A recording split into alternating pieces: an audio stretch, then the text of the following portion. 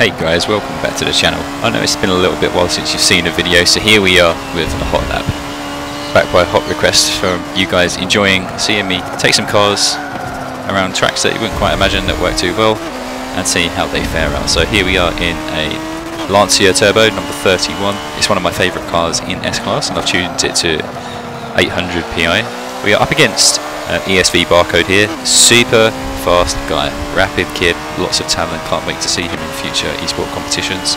He's running the Lotus Elise GT1, which is one of the strongest cars in S-Class, however it is a bit challenged on the likes of Watkins Glen Full, which is where we are right now, because uh, this is a very fast circuit and the GT1 doesn't have a lot of top end, so I thought this would be a great challenge to see what can we do with the Lancia, can I make it a good car around Watkins, and uh, turns out that we have some very interesting uh, content right here in terms of this lap comparison. So we have the top end, the Lotus Elise has acceleration. You'll see this dirty lap, we actually got a uh, 46.3, could be capable of more, but from now I'll just sit back and let you guys enjoy the lap.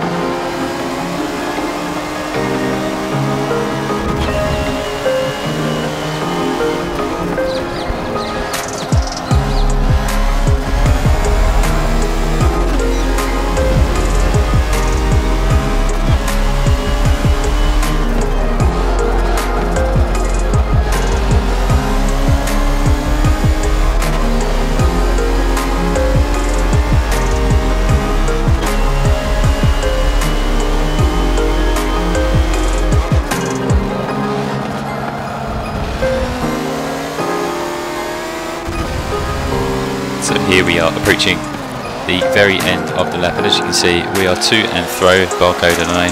Um, very interesting to see the strengths and weaknesses of either car. Um, the Lancia definitely likes to turn in a hell of a lot and it becomes very slidey as you've noticed around some corners and it makes it areas such as the bus stop particularly hard but we managed to wrap it around the final turn and come for a super close finish so into the 46s really happy with it the tune is shared if you guys would like it so please give it a shot let us know what you think and we'll see you again in the comments.